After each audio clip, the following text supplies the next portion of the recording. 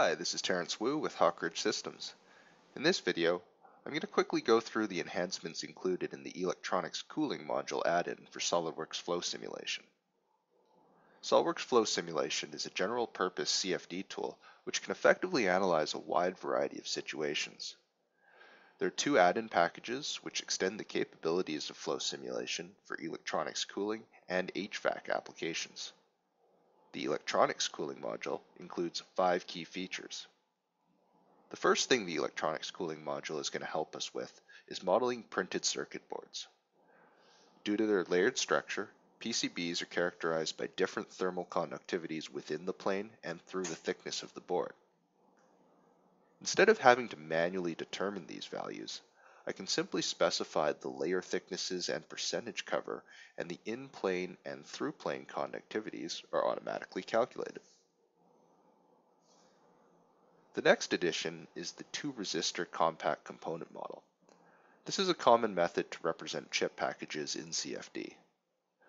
The definition consists of two parts, junction and case, and two thermal resistance values, junction to case and junction to board. It's certainly more accurate than representing components as a single lump block, while still being very efficient.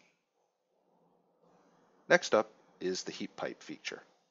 Heat pipes achieve very high thermal conductivities through phase change of a working fluid. The heat pipe feature lets me select the heat in and heat out faces of the heat pipe and specify the effective thermal resistance.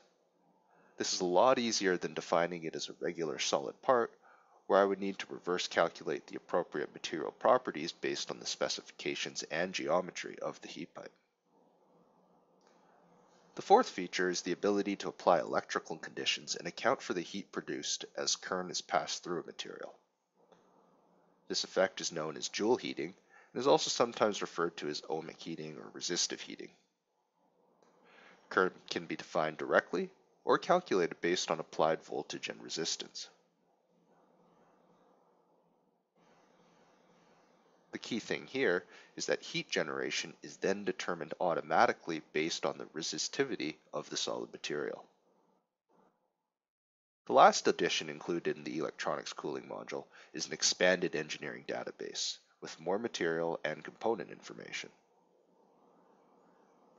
So when I go to define elements, such as this fan, I have a greater selection hopefully I shouldn't need to go track down data sheets as often. So to summarize, the electronics cooling module includes five enhancements. The PCB generator, two resistor component model, heat pipe feature, Joule heating calculation, and an expanded engineering database. They're all fairly simple to use, and for situations that involve these elements, they make it easier to achieve a more accurate analysis. I hope you found this quick run through helpful. If you have any questions, please leave a comment and let us know, and subscribe to our channel for more videos. Thanks for watching.